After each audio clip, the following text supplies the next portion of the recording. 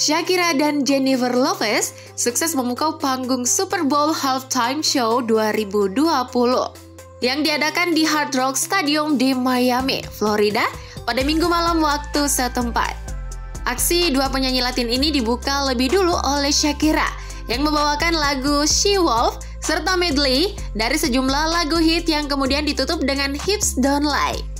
Penyanyi yang tampil tepat di hari ulang tahunnya itu hadir dengan gaun mini rumbai warna merah keunguan. Tak lama setelah itu, Jennifer Lopez muncul dengan jumpsuit hitam membangkitkan nostalgia dengan hit Jenny from the Block. Di aksinya ini, penyanyi yang kerap disapa J-Lo itu memamerkan kemampuan pole dancing, seperti perannya di film Hazard. Usai itu, J-Lo mengganti busananya dengan jumpsuit warna perak dan melanjutkan aksi dengan hit Get Right, Love Don't Cost a Thing, On the Floor, serta Key Color. Nah, sebagai kejutan, Shakira dan J-Lo juga memboyong rapper J Balvin dan Bad Bunny. Sayang, kehadiran dua pria itu tak begitu berarti dan cenderung mudah terlupakan. Hal yang menjadi perhatian justru kemunculan putri J-Lo, Amy, yang ikut tampil untuk menyanyikan Let's Get Loud.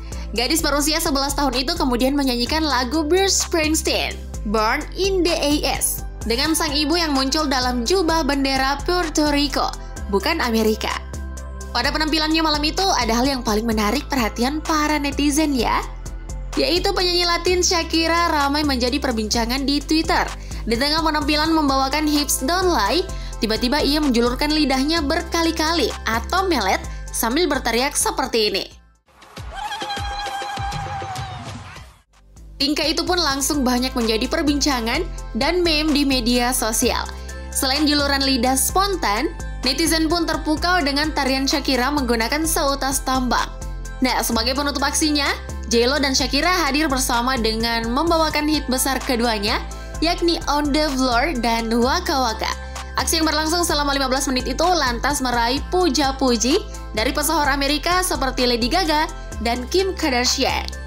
Nah, buat yang hobi nonton konser musik, pastinya kamu sering dong ya ngelihat berbagai aksi panggung yang dilakukan oleh para musisi. Mulai dari bagi-bagi pick gitar, lempar stick drum, sampai ada yang banting gitar. Demi ninggalin kenang-kenangan, ada loh musisi yang melakukan hal-hal aneh saat manggung. Berikut ini aksi panggung musisi yang kocak, seperti yang dilakukan penyanyi Latin Shakira. Yuk, nonton sampai akhir ya!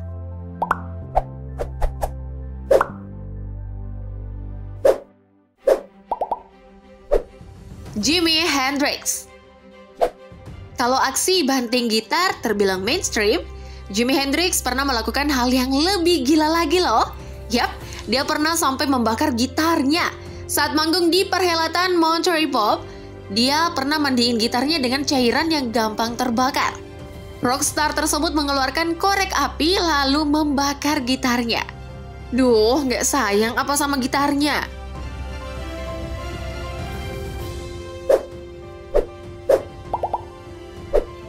Eddie Vedder. Terjun dari panggung ke arah penonton usai konser emang hal yang lumrah dilakukan para rockstar. Tapi yang dilakukan Eddie Vedder ini memang aneh ya. Dia rela memanjat tiang atap panggung dulu, baru menjatuhkan diri ke arah penonton. Kabarnya, dia sudah mengurangi aksi panggung yang kayak gitu karena mempertimbangkan faktor usia. Hmm, ada-ada aja ya guys.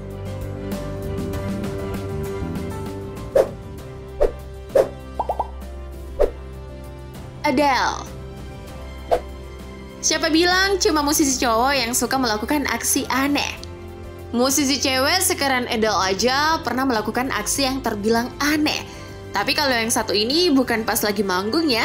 Sewaktu penghargaan Grammy Award kategori Album of the Year, Adele berhasil menyabet piala tersebut. Merasa nggak pantas, Adele lalu mematahkan piala tersebut. Hmm, seperti di film aja ya guys.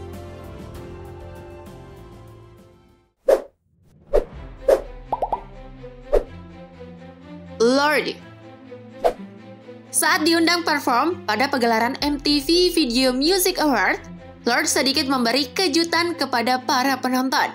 Dia nggak menyanyi sama sekali, bahkan dia hanya menari di atas panggung tersebut. Kabarnya sih, saat itu ia sedang terserang flu, sehingga lebih memilih menyimpan tenaganya dan fokus menari diiringi musik. Cewek kriwil ini emang suka ngasih kejutan saat perform demi terlihat berbeda.